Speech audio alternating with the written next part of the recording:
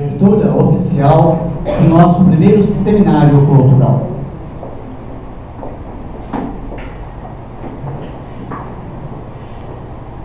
Bom dia a todos. É, hoje é um dia muito especial para Eleodoro. A Olga agora há pouco me falou ali que é, 50 anos de atraso, né, Olga?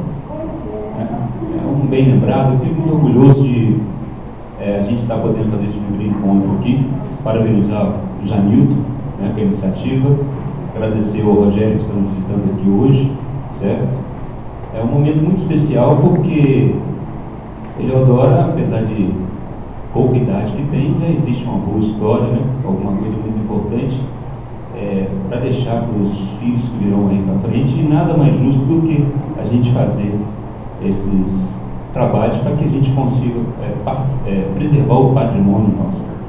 E um, um país em sua plenitude, coisas, e o patrimônio, a sua história, a sua cultura é muito importante para que as gerações futuras é, tenham uma visão mais contundente do que é o correto. Onde caminha cultura, onde caminha educação, com certeza é um país muito melhor.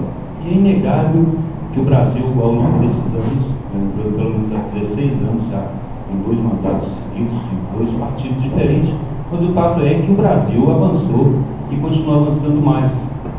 Eu acredito que muitos problemas existem na área da saúde, a educação caminha, mas o fato é que com a reserva é, de petróleo, o pré-sal que está vindo aí, as, os direcionamentos que a gente está tendo nessa área de saúde, educação e cultura, com certeza é, o país vai ter um espaço muito grandioso no mundo. E, claro, que abraçado com a cultura e que, como acabei de falar, o Janilo, com esse trabalho nosso aqui, nós também não vamos ficar para trás. Então, fico muito feliz com a presença de vocês aqui, um bom encontro e que não fique só aqui no papel. Agradecendo o pessoal da comissão, saudando aqui a SUS que nos recebe aqui, e as demais pessoas que estão aqui, os vereadores, né? obrigado pela, pela Câmara aqui, por nos recebendo aqui.